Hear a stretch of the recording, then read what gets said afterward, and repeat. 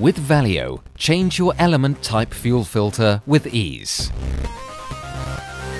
To change your fuel filter, you need rags, gloves, cleaner, screwdrivers, the new filter, the gasket filter,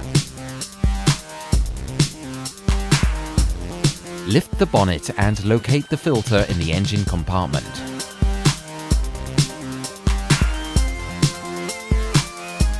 Put a rag around the filter tank.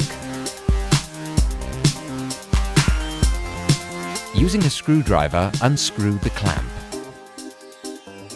Unplug the fuel inlet pipe. Unscrew the screws of the filter holder. Remove the holder lifting the filter into place. Remove the old filter and put it on a rag to prevent the fuel running out. Remove the used gasket of the cap. Lubricate the filter gasket with fuel. Replace the gasket cap with the new one.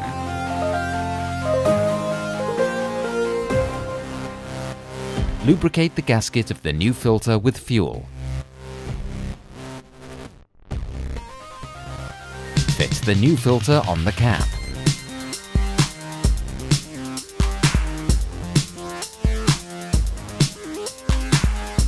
Replace the screws of the filter cap.